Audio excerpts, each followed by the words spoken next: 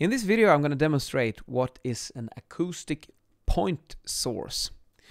And I have this Bose little Bluetooth speaker and uh, we're first going to take a listen now to a sinusoidal wave around, let's see how low we can go with this, 85 hertz. Now, this one will behave as a point source at 85 hertz and if I if that, that well that means that it's going to emit sound in all directions which means that when I point this one at the microphone and rotate it,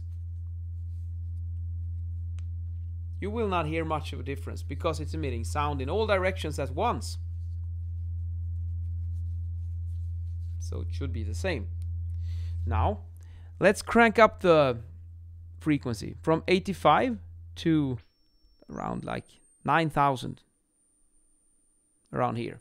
Now, it sounds pretty horrible this, but now, when I point it at the microphone, it's not a point source anymore. Now it be, will behave more like a direct, like like if I'm pointing a flashlight or a laser pointer in your uh, eyes, and I put point it in another direction. This is the same thing if you do that.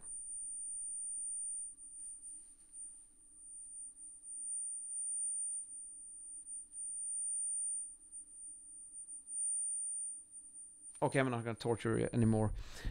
I hope you hear, heard a difference now because when you're pointing this one right into the microphone, it's going to pick up more sound than when it's pointing to another direction because with a high frequency, it's not a point source anymore. So low frequency, all directions at once. I can rotate this one. There won't be a difference. High frequency, it's not a point source anymore. So if it's a point source or not, it actually depends on what kind of sound it is emitting. Certain sound sources, they emit one specific sound and then of course you can classify them. But uh, in the case of this loudspeaker it's not that obvious because it could, can be both. So what's going on here? Well in the first case I had 85 hertz sine wave. And in the second case I had around 9000 hertz 9 kilohertz. And if you want to find out then these frequencies, what kind of wavelength do they correspond to? And then the, the, the way to find that out is that you take the frequency is defined as speed of sound divided by wavelength, but we want to find the wavelength, so it's going to be, oops, it's going to be lambda equals c over f. So lambda 85 will be equal to c, speed of sound, which is 343 meters per second. Oh, sorry, 343 divided by f, which is 85, and lambda 9000 will be 343. Why is it so hard to write 343? divided by 9000 which wavelengths do these correspond to? Let's find out. So in the first case, we get 343 divided by 85, which is around 4 meters. And in the second case, 343 divided by 9000 is around 0 0.038 meters. So you can see there's quite a bit of a difference here in wavelength.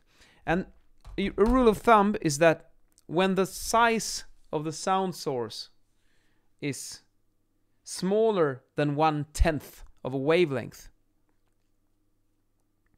then it behaves like a point source. So in this case, 4 meter wavelength in rela relation to this little guy. 4 meter is huge in compar comparison to this one definitely more than one tenth. Uh, I mean, oh, I mean that, less. I'm getting a bit tired here. Sorry. This one is definitely less than four meters divided by ten. So in that case, it will be a point source. And in the second case, 9000 hertz, high frequency, short wavelength. Now 0.038 meters, which is what is that? Sorry, I'm so tired. My brain is about to shut down centimeters 3.8 centimeters actually is we can say it's four centimeters instead of four meters. Now, four centimeters in relation to this guy, then this is huge. It's a large sound source that emits a small, short wavelength. And then it's not a point source anymore because that condition is not fulfilled.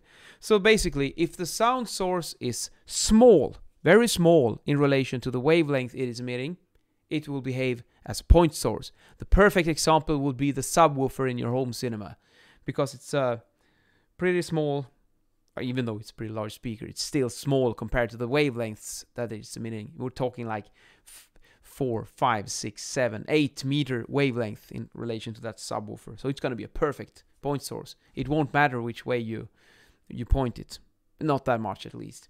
And then in the second case, then when the sound source is large in relation to the wavelength that it is emitting, it will behave as a not as a point source, it will be more directional.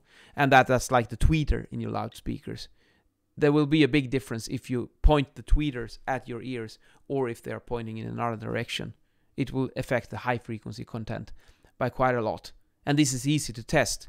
If you if you have your stereo, point your speakers at your ears and then you move to another place in the room and you will hear a difference in the in the high frequency in the crisp part of the sound spectrum yeah that's a crash course in point sources and directivity of sound and in today's video i'm wearing a window pane gray jacket gray shirt and then i chose this rust red pocket square with some purple-ish colors to it which i think picks up the gray and balances out in a nice way it's not too vibrant, it's not screaming, but it's it's good balance. And then black pants.